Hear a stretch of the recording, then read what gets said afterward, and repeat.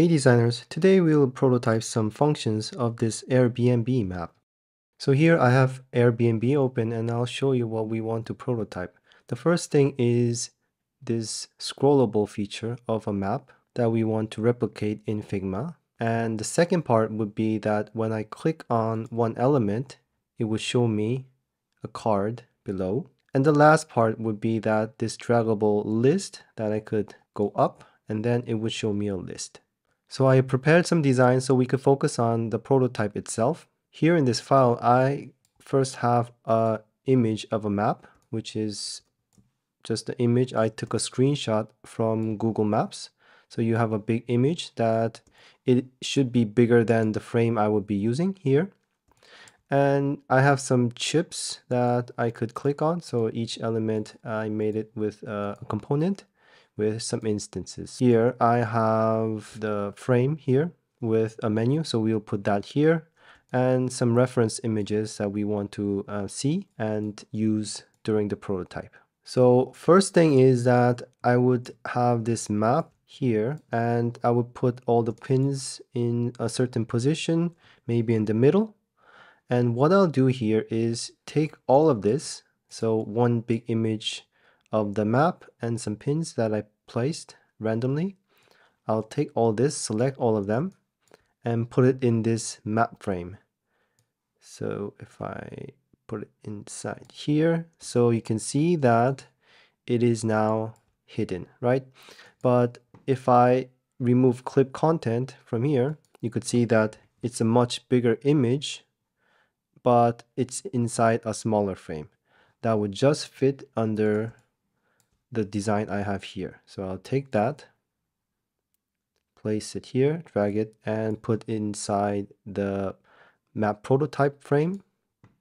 Then what I want to do is make this scrollable. So not the outer frame, but this inside frame, which has the image inside here. So I'll rename it maybe map, so you know.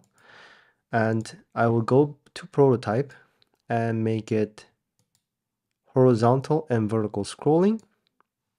That's enabled. Let's test it out by playing it. Okay, now let's try it out. I'm dragging left and right and you see that it is draggable like what we have in Airbnb.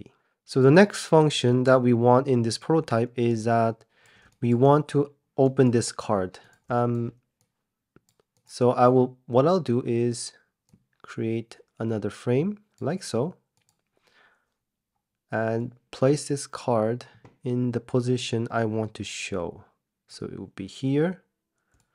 But one thing you need to be careful of is it should not be inside this map frame because it will move together, but just outside, right below the outer frame. So now I would select maybe this $1200 pin and then I'll go to prototype link it into the next frame here. So let's try that out with the frame here. So I will move and I know that this is clickable and see what happens. Okay something went wrong right? Because um, it showed the card but the position was a bit awkward. The problem is I need to preserve the scroll position while I go into the next screen and put it in a random position. Click on this and then, yeah, it shows what we want to do. The next part would be having this draggable element that comes up from the bottom. So look at the reference images. I would drag and then it would be placed up there. For this one, I think I would not do it in this prototype flow, but create a new one. So first thing, I'll place this inside the prototype so it will come up like so. Let's see the, the order of that. It should be actually under the menu. So let's take the menu and put it on the highest part so when I go like that it goes under So this is the position I want in the end. So I'll just make a copy of that. And then take this to the starting position. Maybe like here. So first I would make this part draggable. So I would link that by, so I'll link that here to the next frame. And then what I'll do is go into the details. I want it as on drag. And one thing that is very important is it should be smart animate. Because if you want a smooth transition by dragging this up and to this frame, you need to have Smart Animate on. That's why I made a copy of it with the same frame names. And let's test that out. If I drag, and then you see that it is dragged. The last thing I want to mention here is that why did I separate all this prototype parts?